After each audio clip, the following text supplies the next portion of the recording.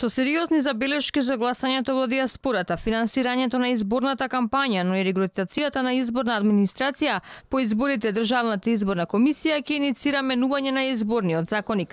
Председателот Дирковски на брифинг со новинарите порача дека тие не се законодавна власт да менуваат закони, но дека нивните забелешки кои директно произлегуваат од праксата ќе им ги достават на оние кои ги носат одлуките.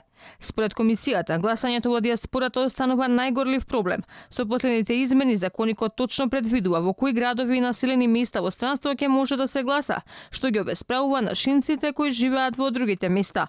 На овие избори, 1830 селеници ќе го користат своето гласачко право, а за да се реализира процесот, ангажирани ќе бидат 265 лица во 32 конзуларни представништва и потрошени 25 милиони динари.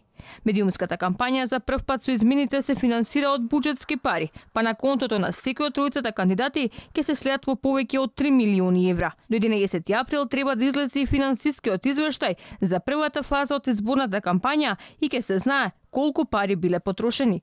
Но како што велат Дик, парите нема да бидат директно уплатени на сметките на партиите, туку на нова сметка која имаат отворено кандидатите. Инаку досега, никој од кандидатите за еден председател на државата не направил прекршување во кампања, нотираат Дик.